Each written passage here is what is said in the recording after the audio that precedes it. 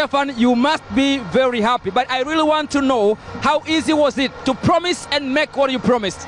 Uh, it's not easy. Really, uh, I'm very happy. I'm very proud of the Wananchi, all of the staff from Yanga and the committee, again, and the player. Because, you know, derby is derby, you must win. And then, you know, after, before the derby, I promised to Mr. Mavunde, I will score for him today. So I called him to come in the stadium because I wanted to score in front of him. So today I'm really happy because uh, I say something and then I do. And then he's here. I bring him here. He said, boss, this is what my promise. So I do for you. And the derby. So Stefan Aziski aliahidi kufunga goli kwa ajili ya rafiki yake waziri wa madini Mheshimiwa Anthony Peter Mavunde na mbunge wa Dodoma mjini. Huyu hapa Mheshimiwa Mavunde, Stefani aliahidi na amefanya alichokiahidi kwako wewe. Nataka kujua hali ambayo ulikuwa nayo jukwani wakati anafunga mkwaju wa penalti ilikuwaje kwako?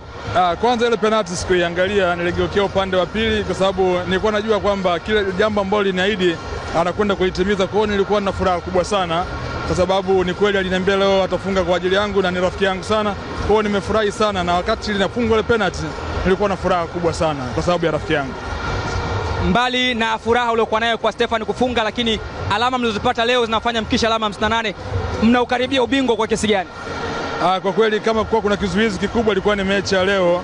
Naamini kabisa kwa mechi zilizobaki, ingaje ligi ni ngumu, nafasi ni kubwa sana ya kuchukua ubingwa. Shukrani sana. Asante sana, kushukuru sana. Uh, Stefan, uh, how was the situation during the 2-1 scoreline and uh, your side were really receiving attacks from your opponents? Uh, you know, derby, everything can happen. Even, you know, 2-0 is not a very good score because when you take one goal, you lose confidence. But, uh, you know, when you play like team, you are strong. So uh, today you see one team, not only one player, you see one team, one big team. Like when I say team, you see the Wananchi, you see the staff, you see the player, everyone they was together.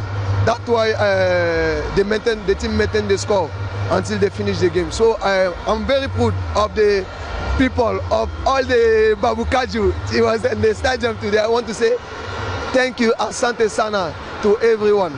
Thank you so much. Thank you, thank you.